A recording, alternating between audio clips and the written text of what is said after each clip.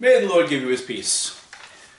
Today's Franciscan saint of the day is Servant of God, Robert, King of Naples, Confessor, Third Order. Today's reading is from the Poverello's Roundtable by Sister Mary Aquila, Barth, OSF, published 1939 by the Sisters of Mary Immaculate, Joliet, Illinois. January 17th, the Servant of God, Robert, King of Naples, Confessor, Third Order. Robert was the younger brother of Bishop St. Louis of Anjou and the son of King Charles II of Naples. When his father was taken captive in a war with the King of Aragon, Robert and his brothers, Louis and Raymond, were sent to Spain as hostages for their father, and as such were compelled to remain six years in Barcelona. While there, the princes received an excellent education in piety and learning from three learned Franciscans.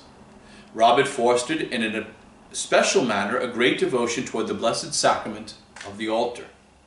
Upon the death of his father, Robert ascended the throne of the kingdoms of Naples and of Sicily. Since his brother Louis, who was first in line for the honor, had consecrated himself to God in the ranks of the clergy. However, even as a king, Robert per persevered in his pious disposition and publicly manifested his lively faith. With his equally devout wife, Sancha, he manifested a special love for the children of St. Francis, whose third order both had joined.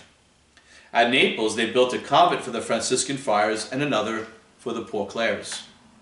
When the affairs of government had been attended to for the time being, the king counted it as his most pleasant relaxation to go to the convent of the Friars Minor and to take part in all the exercises there.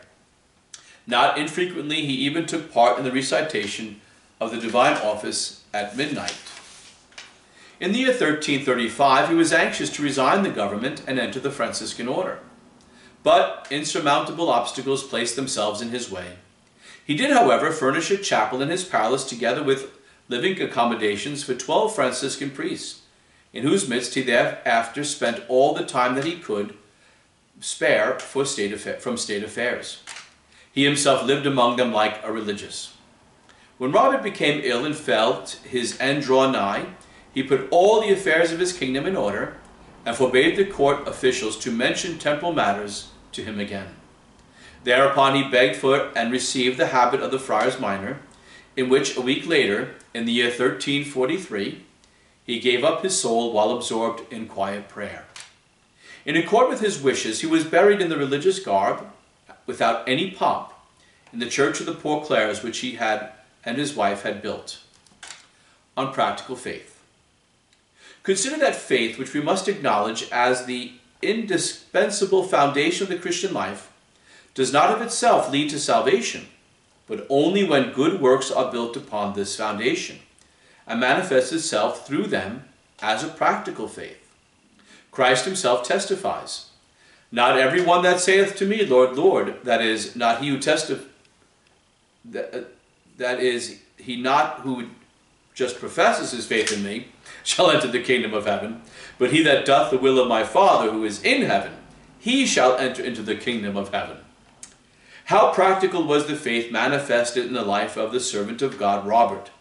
Although he was king over rich and beautiful countries, he did not give himself up to sensual gratification and did not seek pleasure in vain pomp. Rather, he attended conscientiously to the affairs of state, and then found his pleasure and relaxation in the divine services celebrated by lowly religious. That was indeed practical faith in that fundamental truth of Christianity. That man is not upon this earth for the purpose of enjoying material things, but rather to serve God and to find his pleasure in him. In what manner have you manifested that your faith in these or other truths is practical? Or has your faith been dead? If so, you have much to fear. In order to keep our faith alive, we should frequently, especially after spiritual reading, or at the conclusion of a sermon and similar exercises, compare our life with the truths of the faith that have been expounded to us. If our conduct is not in conformity with these truths, we must at once begin to amend Otherwise, our faith will itself be witness against us at the judgment. And the heathens and the infidels will fare far better than we who are well instructed Christians. Oh, that their life was, says Thomas Kempis, have been in keeping with their learning. When the day of judgment cometh, it will not be asked of us what fine discourses we have made, but how religiously we have lived. Prayer of the Church. Grant, we beseech thee, O Lord, to all Christian people to acknowledge in deeds what they profess in faith, and to love the heavenly gift which they frequent through Christ our Lord. Amen. May the Lord bless you and keep you. May he show his face to you and have mercy upon you. May he turn his countenance toward you and give you his peace. And may Almighty God bless you, the Father, and the Son, and the Holy Spirit. Amen. Pax et bonum.